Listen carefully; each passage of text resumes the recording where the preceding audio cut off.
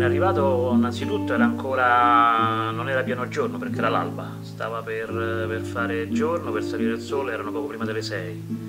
fine agosto, quindi si andavano un po' a ridurre le giornate. E c'era un forte odore di gas, un forte odore di gas e tanta polvere, tanta polvere ancora, ancora alta perché appunto era, era successo da relativamente poco. E quindi la sensazione è stata quella di un sembrava quasi di vivere un sogno, una cosa mai vista, mai fortunatamente provata,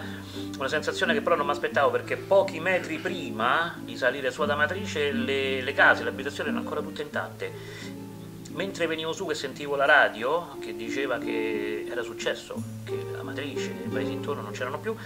però vedevo possibile che qua è tutto così, non è successo nulla, quindi probabilmente neanche sua matrice allora ci saranno questi grandi danni. Come arrivato c'era l'ospedale con pochi danni, relativamente pochi, ma dopo la prima curva eh, era proprio il, un altro mondo, ho bypassato proprio in quel momento un'altra, un'altra dimensione, sono entrato dentro il centro storico di Amatrice con ancora il fuggi-fuggi dei vigili del fuoco, la protezione civile, tanta gente che che era appena uscita da casa e stava cercando di, di, di uscire fuori e trovare una sistemazione, quel poco che aveva addosso. I sentimenti sono stati innanzitutto quello di andarmi a, document- a cercare un, un, parente, un cugino che in quei giorni stava in vacanza lì ad Amatrice e la sorella mi aveva appena telefonato per avere notizie perché non riusciva a contattarlo, quindi sono riuscito a intrufolarmi proprio nel corso, lui abitava per fortuna all'inizio.